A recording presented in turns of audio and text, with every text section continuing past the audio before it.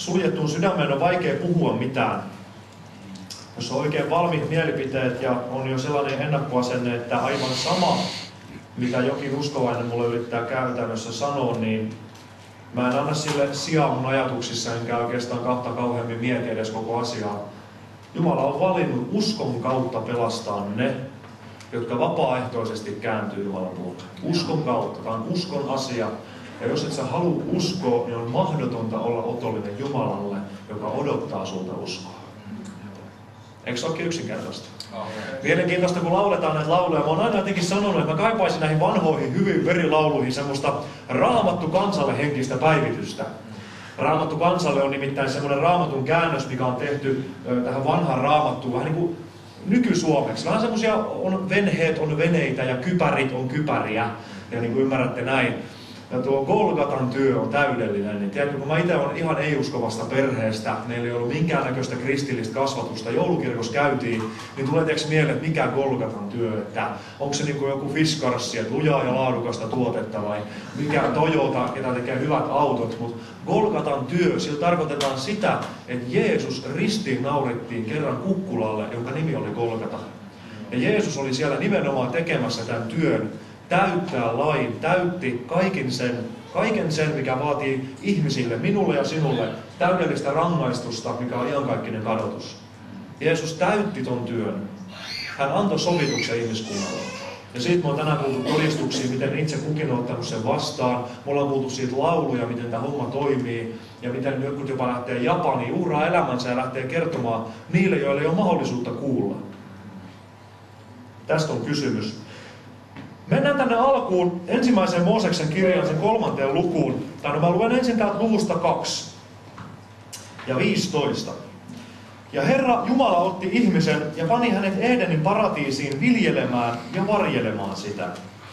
Ja Herra Jumala käski ihmistä sanoen, syö vapaasti kaikista muista paratiisin puista, mutta hyvän ja pahan tiedon puusta älä syö.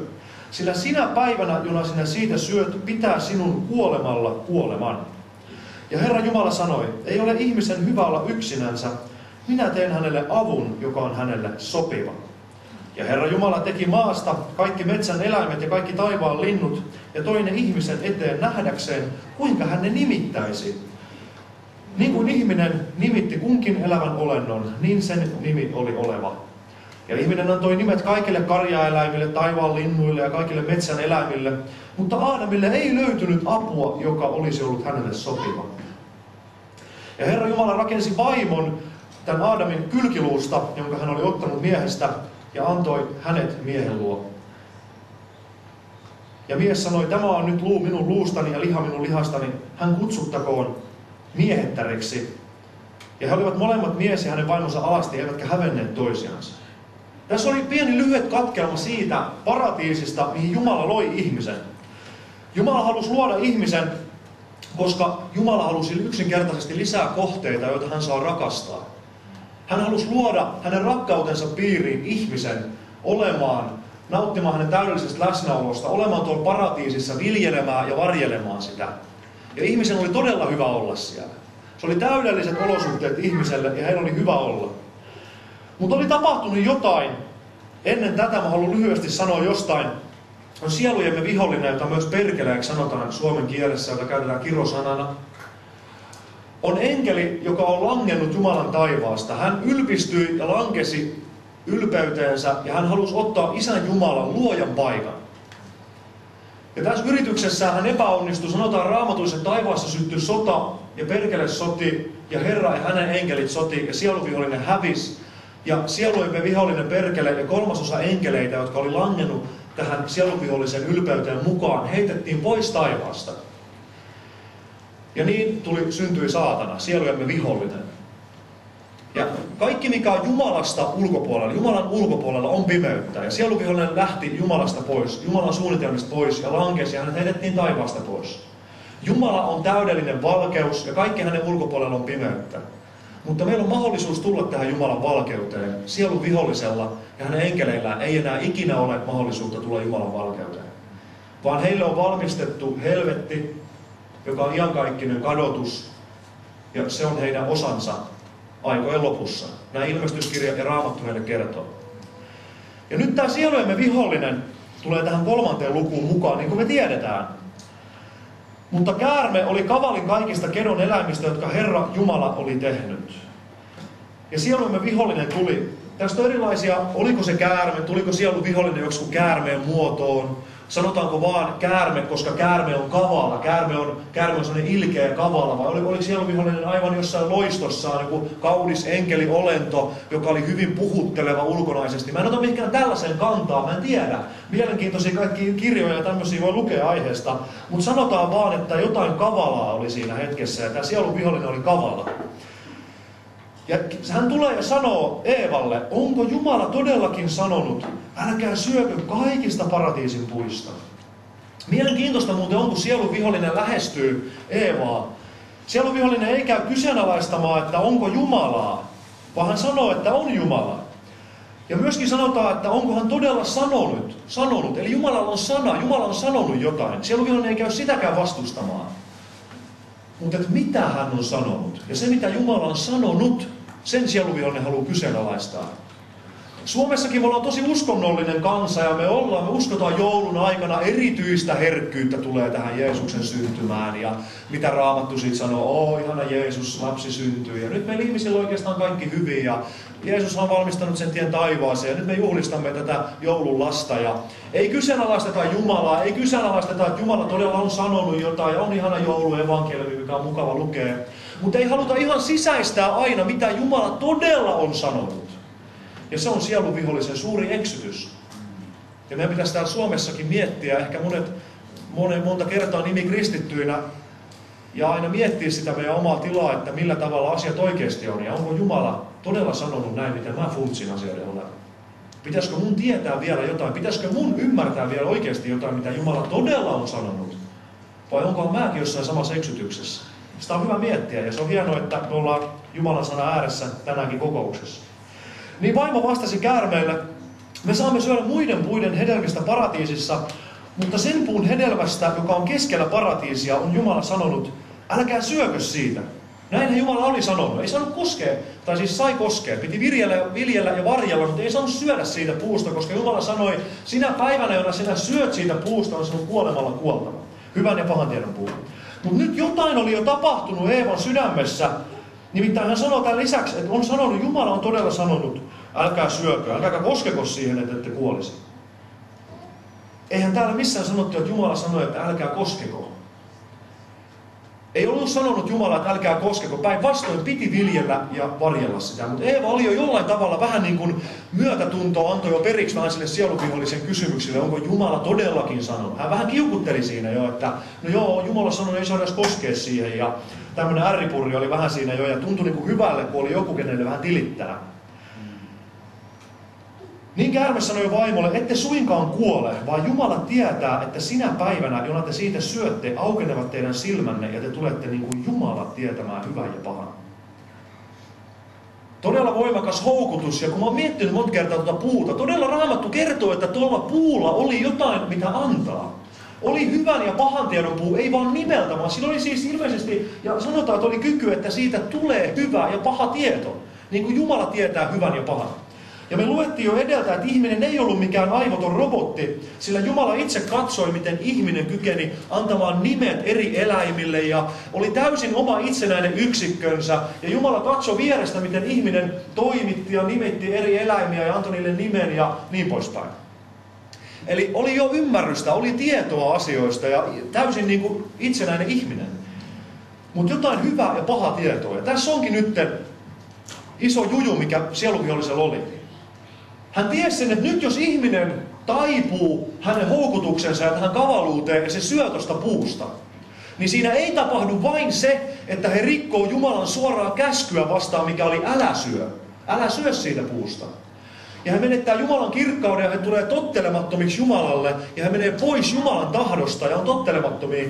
Vaan siinä käy vielä niin, että jos he syö tuosta puusta ja he saa sen hyvän tiedon ja pahan tiedon, niin vaikka he tulevat tietämään niin kuin Jumala, mikä on pahaa, heidän omatunto jollain tavalla virittäytyy ymmärtämään, mikä on täydellisen pahaa, niin heillä ei tule koskaan ilman Jumalaa olemaan voimaa olla koko elämänsä ilman sitä pahaa. Ja vaikka he saavat täydellisen jumalallisen tiedon siitä, mikä on hyvää, mikä on todella, kun tehdään hyvin joku asia ja tehdään jollekin toiselle hyvää, niin ilman Jumalaa heille ei tule olemaan kykyä tehdä koko elämänsä aikana vain sitä hyvää. Tämä oli ihan täydellinen juoni. Ja sielun vihollinen ties kaikessa kavaluudessaan, että kävi miten kävi, niin jos ne tuosta puusta syö, niin se on täydellinen syntiin lankemus, täydellinen ero Jumalasta. Sielun vihollinen, joka oli aikaisemmin saanut täydellisesti takkiinsa isältä Jumalalta taivaissa, vaikka kolmasosa enkeleitä oli hänen puolellaan, hän tuli ryminällä alas. Jeesus itse kertoo evankeliumeissa, kun opetuslapset tulee lähetysmatkalta ja he sanoo, että Herra, oli voimakkaita kokemuksia, me rukoiltiin ihmisten puolesta ja meistä tuntui, että pahat hengetkin oli meille alamaisia.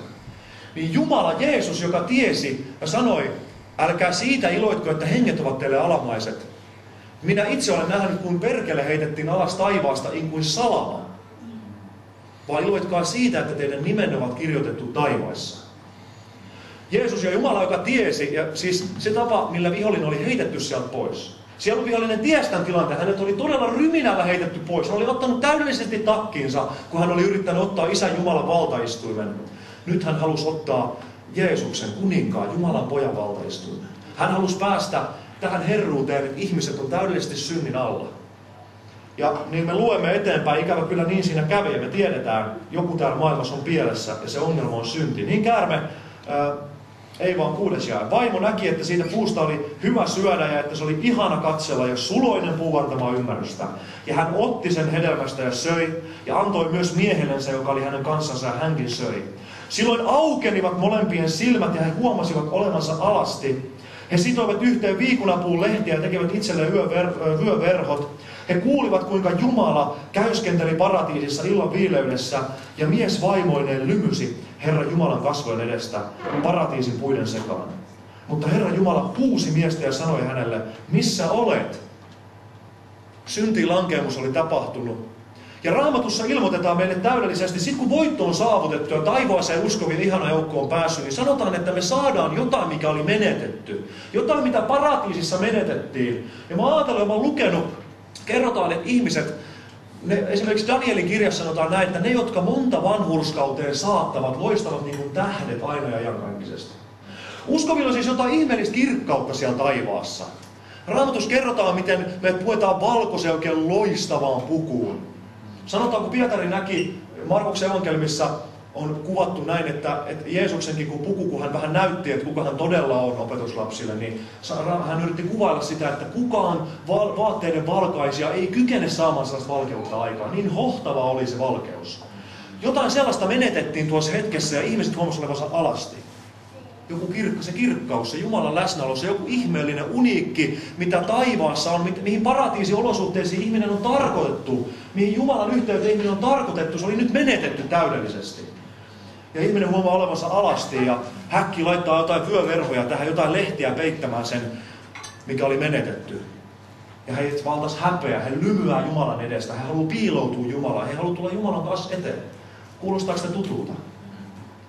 Miksi mäkään en halunnut löytää Jumalaa? Nuori mies 9 vuotta sitten, 19-vuotiaana nuorisokahvilassa, tarjotaan Jeesusta, puhutaan Jumalasta. Mä en halua tulla esille, koska mä en halua, että mun sisin paljastuu. Ne asiat, mitä mun sydämessä on, synti, mun tila, mä ymmärrän, mä en ole niin kuin nämä uskovat, näillä on jotain enemmän, ne on, niin, ne on, ne on antanut elämänsä Jeesukselle ja mä elän synneissäni, mä en ole uudesti syntynyt, mä oon matkalla kadotukseen. Mutta jotenkin mä en niin kuin halua tulla Jumalan eteen, mieluummin mä lymysin. Mä haluaisin jotenkin jäädä. Tätä synti tekee, se vie poispäin Jumalasta. Ja tässä kohtaa sielujemme vihollinen ikävä kyllä otti osavoiton. Vaikka isälle Jumalalle sieluvihollinen hävisi aivan 6 niin tässä kohtaa tuli osavoitto. Nyt hetkellisesti sielujen vihollinen otti hallintavallan ihmiskunnasta jota Jeesuskaan ei käy kieltämään. Matteuksen evankeliumin neljännessä luvussa, kun Jeesus on tullut maailmaan, hän on aloittanut julkisen saarna toimintansa 30-vuotiaana saatana käy häntä kiusaamaan, kun hän oli paastonut ja rukoillut. Ja sanoo, että nostaa hänet korkealle ja näyttää, että kaikki nämä valtakunnat minä annan sinulle, jos käyt kumartamaan minua. Jeesus ei käynyt sanomaan sieluviholliselle, että ei nämä sinun ole. Vaan Jeesus tiesi, kyllä, tämä on täydellisen synnin vallassa ja tämä on, nämä on sinun annettavissasi todellakin. Mutta Jeesus vastasi hänelle sanalla ja hän ei retkahtanut siihen. Nyt en näkki muista, miten se meni, joku pieni lukko tuli tuonne. Antakaa mulle anteeksi. Jeesuskaan ei jäänyt kieltämään sitä, että todella sielun vihollinen oli nyt niin kuin ikään kuin herrana talossa. Ja tämä oli nyt tilanne, ja tämä on osittain nytkin tilanne. Mutta Jeesus otti voiton, mistä me tiedetään Golgatan ristillä. Monta kertaa me tiedetään, me ollaan kuultu siitä varmaan tuhansia kertoja, mutta siitä on aina ilo puhua uudelleen. Se mitä Jeesus teki ristillä, kun hän kuoli, hän todella hän tehtiin synniksi. Synnitön tehtiin synniksi ihmiskunnan puolesta. Joku on sanonut se hienosti, että ikään kuin maailmankaikkeuden kaikki synnit, kaikki ikään kuin järkyttävät synnit, liat, kunnianloukkaukset, suorat loukkaukset kohti Jumalaa puettaisiin semmoiseen mustaan kaapuun, ne puettiin kaikki Jeesuksen päälle. Ja Jumalan täydellinen tuomio, kaikki meidän synnit, kaikki ikään kuin yhtenä suurennuslasina, Jumala katsoi kaiken sen meidän saastan läpi, kaikkeen meidän tekemättä jättämien ja meidän, meidän uskottomuuden, me halutaan uskoa Jeesukseen, kaikki meidän synnit, ja hän katsoi ja tuomitsi täydellisesti Jeesuksen. Jeesus kantoi täydellisesti sen tuomion Kolkatan ristillä. Ja hän voitti, hän voitti kuoleman, hän nousi ylös kuolleista ja hän otti tuonellan avaimet. Ja hän on voittaja. Hän otti takaisin sen, mikä sieluvihollinen oli anastanut hänen. Taas sieluvihollinen joutui häviämään. Ensin isälle Jumalalle ja hän hävisi Jeesukselle. Jeesus on voittaja. Hän on herrojen herra ja kuningasten kuningas. Sieluvihollinen voi vain nauttia jotain osavoittoja. Mennään siihen kohtaan, mutta taas Jumala voitti. Isä voitti, poika voitti. Ja kun Jeesus nousi ylös kuolleista, niin hän lähetti tänne pyhän henkensä kaikkeen maailmaan. Ja siitä me saadaan tänään nauttia Jumalan läsnäoloa. Jeesus ei ole täällä. Me sanotaan, että Jeesus, kiitos, että sä olet täällä. Ja mitä ne uskovat höyryä? Ei Jeesus ole täällä. Me tarkoitetaan Jumalan henkeä. Pyhä henki on nyt kaikkialla maailmassa. Jumalan henki vuodatettiin noin viisi viikkoa ristil kuoleman jälkeen helluntaina kaikkeen maailmaan. Ja nyt ihan sama missä päin maailman kolkkaa joku ihminen rukoilee Jumalaa henkensä kautta välittömästi siinä. Ja myös tänään täällä. Se sama Jumalan henki puhuttelee meitä täällä. Se sama Jumalan henki kosketti mua noin yhdeksän vuotta sitten ja alkoi vetämään kahvilaan, alkoi vetää hengellisiä asioita mun mieleeni ja puhuttelemaan mua. Ja se sama Jumalan henki on tänään täällä. Ja sen Jumalan hengen kautta Jeesus puhuttelee sinua ja haluaa koskettaa sinua. Nimittäin on olemassa sellainen asia, vielä kuin kolmas valtaistuin, minkä sieluvihollinen on onnistunut munkin elämässäni ottamaan voiton. Nimittäin pyhän hengen valtaistuin. Se on jokaisen ihmisen sydämessä. Sydämessä on yksi valtaistuin vielä, minne sinä päätät, kuka istuu. Sinä päätät, kuka siellä istuu Herrana. Pyhä henki haluaisi olla siellä. Jeesuksen henki haluaisi olla tuon valtaistuimen omistaja, tuoda sun elämään kaikkea sitä hyvää, ihanaa, minkä hän haluaa sun elämässä olevan. Mutta jos ei siellä ole Jeesus, vaan siellä on synti, siellä on oma minä, niin sitä kautta siellä on sielun vihollisen tahto ja sielun vihollisen suunnitelma. Ja saat matkaa liian kaikkiseen kadotukseen. Niin ne oikeasti pitäisi joutua vaan perkeleen hänen enkeleidensä. Ja tänään Jumalan henki kysyy sulta, haluaisitko sä, että se sun sydämen valtaistuu tulisi voitetuksi?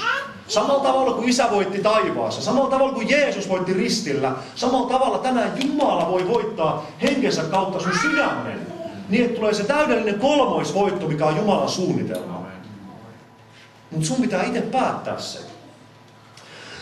Ja tämä ongelma on sen tähden niin, niin tärkeä, kun me ollaan ymmärretty, että iankaikkisuus on myös totta. Mä oikein tuossa yksi päivä mietin sitä, että miten ihan oikeasti on kysymys iankaikkisesta kadotuksesta ja iankaikkisesta taivaasta. Kun tämä on ihan oikeasti totta. Täällä olisi tosi paljon kivempi jutella lämpimyksiä jotain ihan muita juttuja. Mutta me halutaan kertoa ilosanomaa myös tämä puoli, mikä siihen sisältyy. Vielä jotain siitä hyvästä ja pahasta tiedosta, mikä siellä tuli ihmisen osaksi. Ja me ymmärretään, että meillä on oma tunto. Roomalaiskirjan ne kaksi lukua, ja luen tästä jakeesta 14. Sillä kun ihmiset, joilla ei lakia ole, luonnostansa tekevät, mitä Jumalan laki vaatii, niin he vaikka heillä ei Jumalan lakia ole, ovat itse itsenänsä laki. Ja he osoittavat, että Jumalan lain teot ovat kirjoitettu heidän sydämiinsä. Kun heidän oma tuntonsa myötä todistaa ja heidän ajatuksensa keskenään syyttävät tai myös puolustavat heitä, sinä päivänä, jona Jumala on tuomitseva ihmisten salaisuudet Kristuksen Jeesuksen kautta minun evankeliumini mukaan. Paavali sanoi, että oli osa hänen evankeliumi. Evankeliumi on ilosanoma. Ja osa Paavalin ilosanomaa oli tämä, että kerran, vaikka olisi kuinka venytetty omatunto, kuinka vääristynyt omatunto tahansa, niin kerran tulee päivä, jolloin Jumalan edessä se on aivan yhtä herkkä, kuin se on ollut sulla joskus aivan pienenä lapsena ja vauvana. Sinä päivänä, jona Jumala on tuomitseva ihmisten salaisuudet. Oma tunto on välillä myös on lahjomaton tuomari ja sen voi yrittää venyttää paukuttaa. Mä muistan jotain oman tunnon toiminnasta. Mä olin ihan pikkupoika. Mä olin varmaan semmoinen 4-5-vuotias ja mut pääsi vahingossa semmoinen väärä kirosana. Ja ei hyvänä aika, mä katoin äitiin, mä katoin tätiin, mä näin niiden ilmeet, mä olin pettänyt kaikki, se oli järkyttävä tuntemus. Mun oma tunto soimas mua, Jari sä olet syyllinen. Mä katoin niitä kasvoja ja mä ymmärsin, että voi Jari-pojan suusta pääsi nyt jotain sellaista, että nyt ei varmaan mitään piparkakkua tule vaan toruja. Ja se oli kamala tilanne. Mutta mitä enemmän mentiin ikää eteenpäin, mä olin 15-kesäinen kolli jossain Lohjan tähdessä, kun Markus ja muut uskovat tulee jotain juttelemaan, niin mitä rivompia ja tyhmempiä juttuja, niin sen niin kuin kivempi oli vaan. Ja oikein sydän niin kuin jupileerasi, että joo, kaveritkin nauraa, mä saan huomioon ja nyt on niin kuin hyvä meininki. Miten se omatunto oli mennyt ihan eri pisteeseen siitä, venytetty niin kuin siihen malliin, mihin minä olin halunnut. Tällä tavalla omatuntoa voi venyttää ja sitä lahjomaton tuomari täällä sitä voi yrittää koijata, mutta kuitenkin siellä on aina se muistuttaja. Sun omissa asioissa, mitä sä oot tehnyt. Mä en tiedä, tiedäksä mistä mä puhun. Mutta oma tunto täällä. Loppuviimein se on lahjomaton tuomari. Se on täydellisesti Jumalan lain yhteistyössä. Viimeistään sinä päivänä, jona sä lähdet tästä ajasta iankaikkisuuteen. Ja sun ajatukset joko myötä todistaa tai myös puolustaa. On joitain asioita, mitkä sä oot onnistunut tekemään, ystävä, todella hienosti tässä ajassa. Ei sitä käy kiistäminen. Sä oot tehnyt todella hienoja asioita. Ja ne on, ne on niin kuin monella tavalla varmasti palkittavia. Ja jopa taivaissa sanotaan, että Jumalan pyhien kasvojen edessä sun ajatuksesi jopa myös niin kuin voivat puolustaa. Että sä oot ihan rehellisesti, niin kuin, että jossain asiassa niin kuin, mutta jos sä yrität sitä niin kuin vanhurskauteen, siihen, että sä olisit Jumalan edessä syytön, jotenkin, että sä yrität kelpaa sitä kautta Jumalalle niiden sun pienien onnistumisien kanssa, niin se on niin kuin saastainen vaate Jumalan edessä. Se on täysin turha yritys. Ajattele nyt, jos mä menen tuonne Markuksen autoon, pistän puukolla renkaat puhki, ja sitten mä menen naapurin Kallen talon maalaamaan. Ja sanon Markukselle, että mä oon ihan hyvä jätkä, mä maalasin kuitenkin Kallen talon, vaikka mä sun renkaat puhkasin. Niin kaikkihan me ymmärretään, että nyt on ihan hullua. Ei se ole mitään tekemistä keskenään. Joo, Markus sanoi, että no kiva juttu Kallelle, mutta entäs nämä mun nakit? Nämä on entiset. Te ymmärrätte, että ei, ei tämä niin Jumalankaan edessä. Se on jotenkin niin, mitä ihminen haluaa aina niin kuin ohittaa nämä kysymykset. Munkin mielestä oli kauhean kiva ajatella Jumalaa rakastavana, jonain semmoisena pumpuliukkona, että kerran kun mä taivaaseen menen siihen porteille, niin hän niin kuin jotenkin näkee ne mun synnit, mutta hän vaan jotenkin kuin haluaa ne antaa siinä anteeksi. Mutta se ei mene niin. Tiedättekö Jeesus, joka lähti ratkaisemaan, hänen rakas poikansa lähti ratkaisemaan syntikysymystä. Ja kun syntikysymys piti ratkaista, ja me katsotaan Jeesusta, miten hänet käsiteltiin, vaikka hän oli synnitön, kun hänet tehtiin synniksi. Hänet ruoskittiin, hänet naulittiin ristille. Hänen todella piti antaa henkensä ristillä, siellä kärsimyksessä. Niin ajatteletko sä, että kun hänen rakas poikansa, joka sovitti syntiä ja käsitteli syntikysymystä, sai tällaisen käsittelyn, niin sä niin kuin ajattelet, että sinä menet isän Jumalan valtaistumme eteen ja ajattelet, että hän niin kuin kattoisi vähän läpi sormien, että sä siitä vilahdat taivaaseen.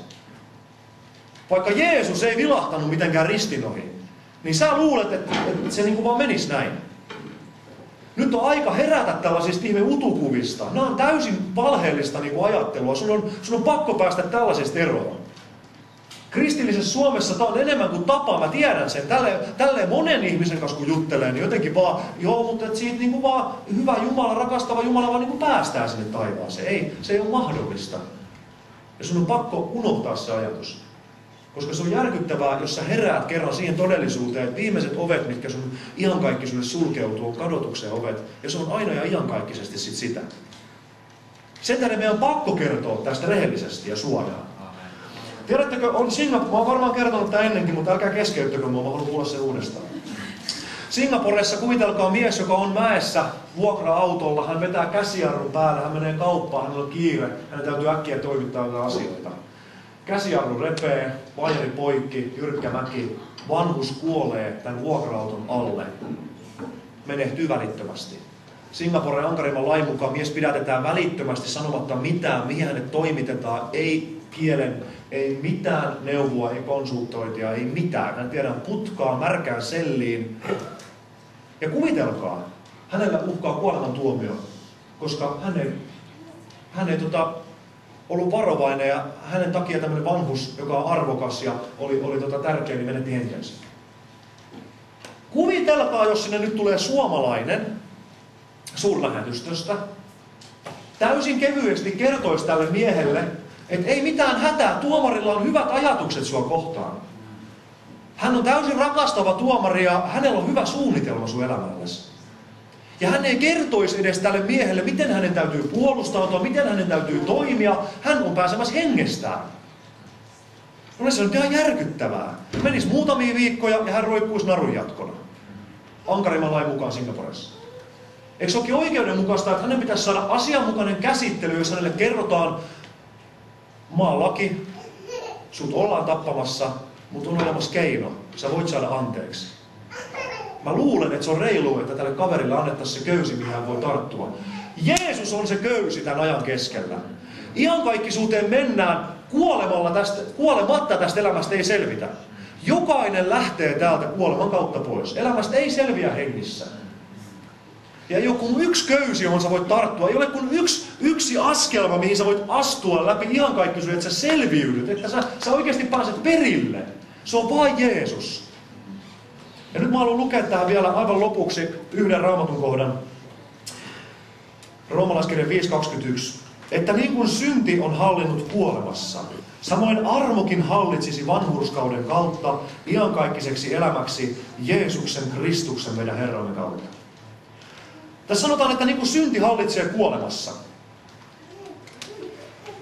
Synti pitää vallassaan. Se vie poispäin Jumalasta. Se tuo ihmiselle tuomion palkaksi. Tämä on se, millä tavalla synti hallitsee tässä kuolemassa. Ihminen, joka on erossa Jumalasta, on kuoleman oma.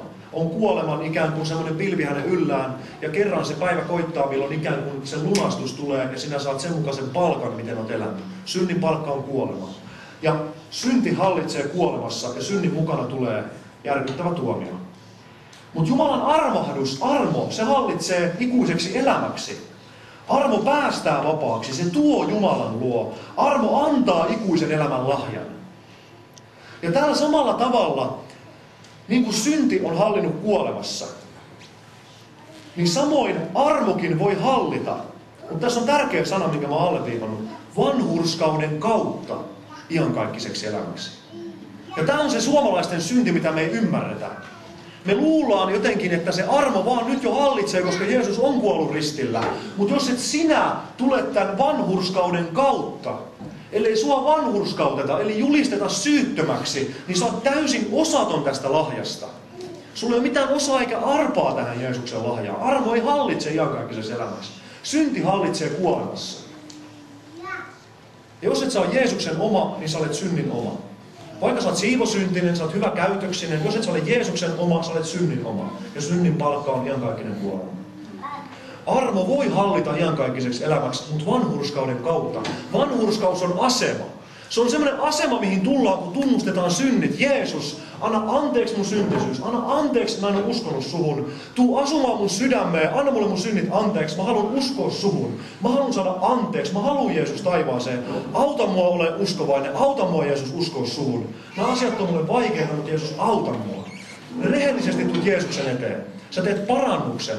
Sä teet, se, on, se, on, se on itse asiassa, oliko se englanninkielisessä raamatussa, on tämmöinen mili, militaria käsky repent, niin kuin tee parannus, tee, tee käännös, 180 asteen käännös, niin kuin armeijassa, taakse poistu. Poistu synnistä. Se on sellainen käsky, lähde pois synnistä, usko Jeesukseen, usko se, että hän on kuollut sun puolesta. Silloin Jumala vanhurskauttaa sinut. Hän taivaallisesti julistaa sinut syyttömäksi kaikkeen syntiin, koska sinä käännyt hänen poikansa Jeesuksen puoleen, joka on ottanut kaiken tuomion. Ja nyt Jeesus ottaa tuon sinun syntinivaskan ja repii sen. Hän heittää ne pois kaiken. Hänellä on täydellinen oikeus heittää tuo synti, ja nyt se ei enää koske sinua, vaan nyt armo hallitsee iankaikkiseksi elämäksi. Ja sinä olet tullut vanhurskaaseen asemaan. Se ei ole semmoinen asema, missä kun vähän Jari kompastuu ja vahingossa ajattelee pahasti, sanoo pahasti, niin se heti menetetään. Ei. Mä oon päässyt lapsen asemaan. Mä oon isän lapsi, Jumalan lapsi. Ja mä epäonnistun, mutta Jeesuksen veri puhdistaa jatkuvasti mua kaikesta synnistä, kun mä haluan elää valkeudessa enkä valheessa. Enkä niin, että mä käännän sen armon irstaudeksi, että mä voin sekoilla tuolla muka miten sattuu ja sitten vaan pyydellään anteeksi. Ei se ole mikään käymälä, vaan tämä on asema. Jeesuksen vanhurskautus, se on, se on asema, se on titteli, minkä mä saan yksin lahjana. Ja jos sä haluat ottaa sen tänään vastaan, niin se on tarjolla sulle. Jos haluat ottaa Jeesuksen vastaan. Mä toivon sitä ja mä rukoilen, että tämä asia voisi olla yksinkertaisuudessaan sulle selvä, koska evankeliumi ei ole vaikea asia. Usko tämä todeksi tee parannus. Niin sä saat sen kaiken, mitä Jeesus on halunnut valmistaa. Amen. Nyt me rukoillaan. Toivottavasti aika hienosti te jaksoitte kuunnella. Musta aina, että suu alkoi kuivumaan. Oi totisesti. Mutta vaikka mä nauran täällä, nämä on iloisia asioita. Mutta oikeasti on se kolmas valtaistuin vielä, se on se sydämen valtaistuin. Kuka siellä istuu? Toteutuuko saatanan tahto, että siellä olet sinä jotain synti, jotain muuta järkyttävää, mikä ei kuulu, vaan pitäisi olla Jumalan henki, Jeesus. Mieti sitä ja oikeasti ja mihin sä matkalla. Mutta käydään rukoukseen. Kiitos Jeesus, että siunaat täällä jokaista ystävää, jokaista, joka katsoo ehkä tuolta netin välityksellä. Siunaa meidän ystäviä täällä ja tuolla, tuolla toisessa päässä. Ja Jeesus, mä oikein rukoilen, että jokainen ihminen saisi sais tehdä sydämestään sen ratkaisun, jos oikeasti kokee, että nämä asiat on nyt häntä lähellä, niin anna rohkeus tulla uskoon. Siunaa jokaista ihmistä, joka täällä nyt on. Ja kiitos, että sä oot meidän kanssa täällä. Sä olet armahtava, rakastava Jumala, joka oikeasti haluat antaa meidän synnit anteeksi. Kiitos Jeesus. Amen.